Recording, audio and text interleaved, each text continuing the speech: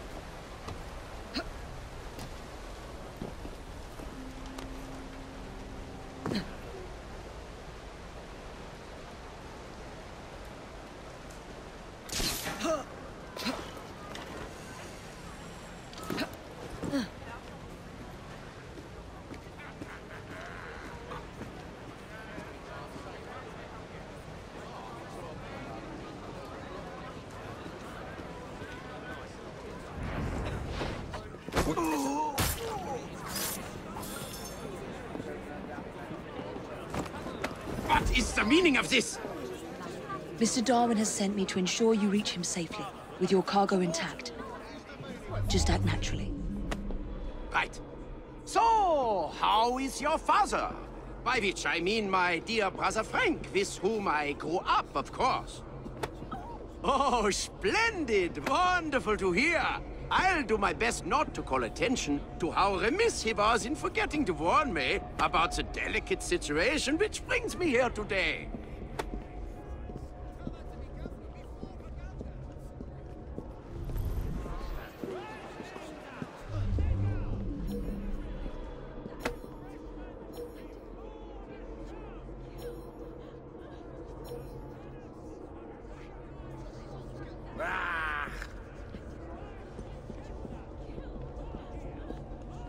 Do you see him? Like finding a needle in a haystack, this is.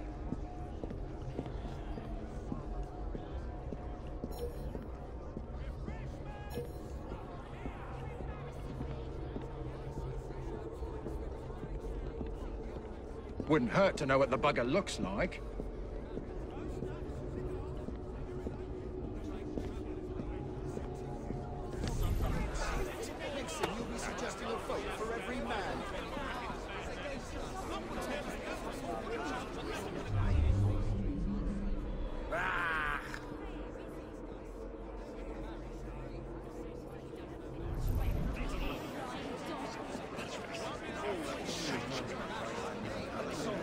The Like finding a needle in a haystack, this is.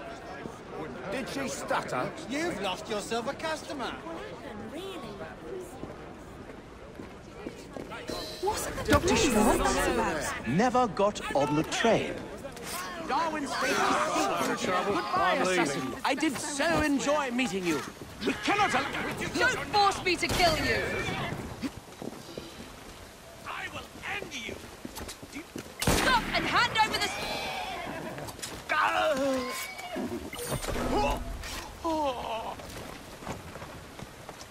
I should deliver this to Mr. Darwin. Faster! Come on! Move it! Easy now. Go on.